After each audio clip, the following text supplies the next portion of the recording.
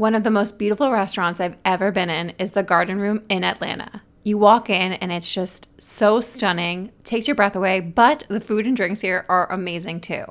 And the nighttime scene is incredible, so stay tuned for part two to see it.